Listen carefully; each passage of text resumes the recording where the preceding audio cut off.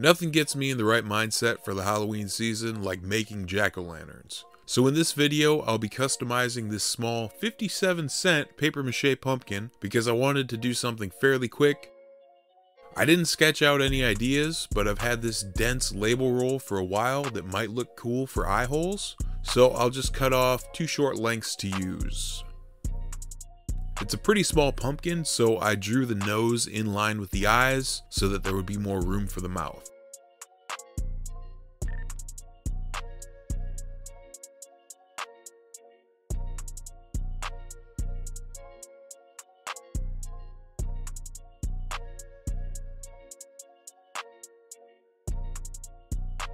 With pretty much every jack-o'-lantern I make, I end up tilting the pumpkin back so that you can actually see it without having to get down to eye level with it. So I cut out the bottom jaw and then cut out a piece of chipboard, you know, the kind that you find at the back of a legal pad, haha.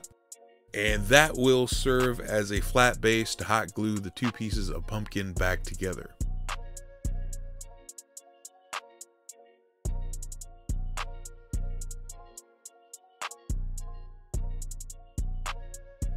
I separate the first ridges of the pumpkin on either side of the mouth to better connect it to that base of chipboard to get the pumpkin looking more pumpkin shaped and also further exaggerate the mouth. This will make the sculpting process later a lot less work. With a few more slivers of chipboard and some hot glue, I patch up any gaps that I'd created.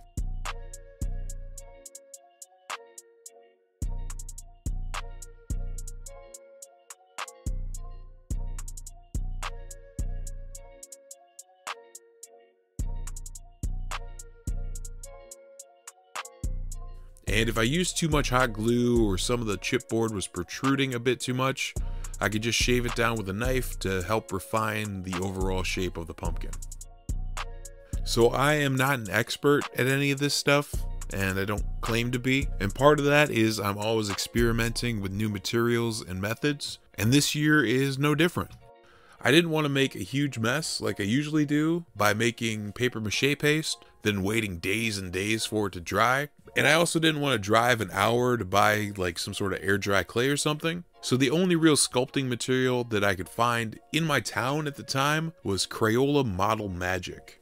I think the 4 ounce bag was about 5 bucks, and I also found this box of 4 1 ounce packages on clearance for 3 bucks. I've never used Model Magic before, but had seen a few videos where crafters used it to not great results. It's not a conventional air dry clay. I've never used foam clay either, but I think it's just pretty much foam clay.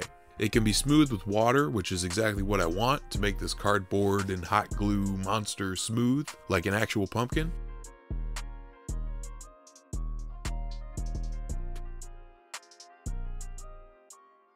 One problem though, the model magic only really sticks to itself and definitely not to paper mache.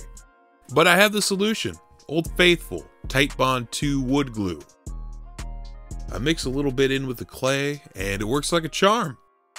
So much for not making a mess though. Model Magic tends to sag and the addition of wood glue did not fix that. So I don't heap too much on in any one place because it will be subject to gravity, obviously, while it cures. Another, let's say, quirk of Model Magic is that it takes 72 hours to fully cure. I was able to work on it more after about a day, but the Model Magic was still kind of spongy, so I had to be careful of how I held it to sculpt the back half of the pumpkin. I also carved down the bottom of the nose so it sat flush with the rest of the pumpkin. I just think it looks better that way.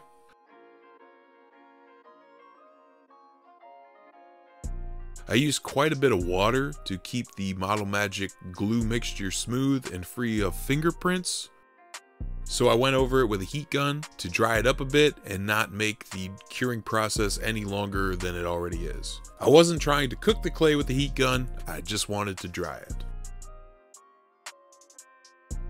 As with most cheap clays, there was quite a bit of cracking. This wasn't a big deal though, this happens with paper mache paste too. I just used some paintable caulk from $1.25 Tree, which is also able to be smoothed out with water, and I was able to get the most egregious of cracks covered up.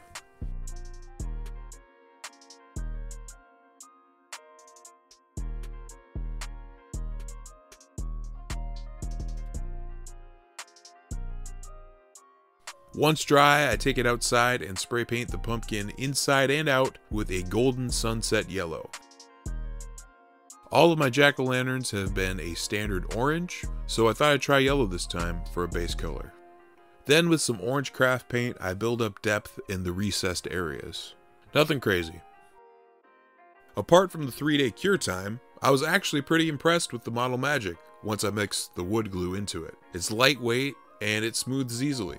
I wouldn't want to use it to make an actual sculpture, and I've heard about as much from others in my research of the product, but to flesh out a paper mache and hot glue pumpkin, it works pretty great. I only ended up using two of the four one ounce packages, so there's plenty left to use on more pumpkins. If you have any weird crafting concoctions that you found work surprisingly well, I'd love to hear them comment them below. And if you enjoyed watching me fumble around making this jack-o'-lantern, put that like button in a sleeping bag and slam it against a tree. Alright, cool. Catch you later, campers.